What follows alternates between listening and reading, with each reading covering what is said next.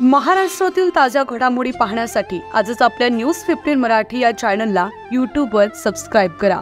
तसेच इंस्टाग्राम आणि ट्विटरवर फॉलो करायला विसरू नका.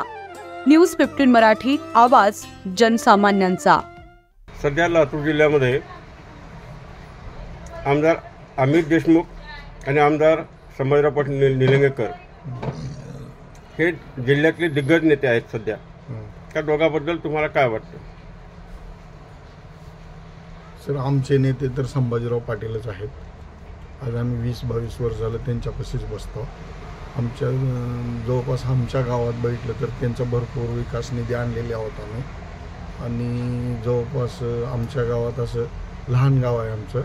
एक नऊशे पंच्याण्णव लोकांचं मतदान मतदानाचं गाव आहे. त्या हिशोबानं आमच्या गावात जेवढं विकास काम घेतलं आम्ही तेवढे संभाजीराव पाटलाकडूनच घेतलं नाही संपूर्ण जिल्ह्याचा विचार केला. तर. तर कोण सरस ठरला असं वाटतं जिल्ह्यामध्ये?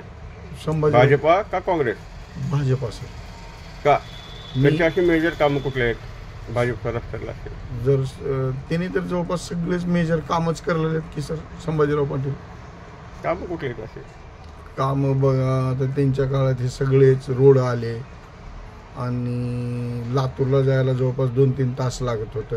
आता एक साठ पन्नास साठ मिनिटाचाच वेळ लागतो आम्हाला लातूरला जायला. अजून त्याच्या व्यतिरिक्त बघितलं तर सगळे कामं आमच्या गावाकडे यायचे जायचे रोड वगैरे सगळे झाले. आता भाजपच्याच काळात झालेत ना सर